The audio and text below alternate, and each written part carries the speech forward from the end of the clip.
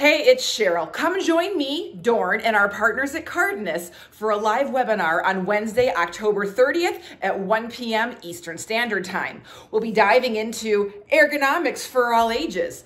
Here we're going to cover everything you need to know to plan for 2025 and ensure a safe and injury-free workplace for every generation. So what does this mean? Come discover how to create effective ergo programs that cater to multi-generational workforces. Understand the unique needs of each generation and tackle all those EHS challenges. So whether you employ baby boomers, Gen Zers, or everything and anything in between, this is the webinar for you. So don't miss out and register today.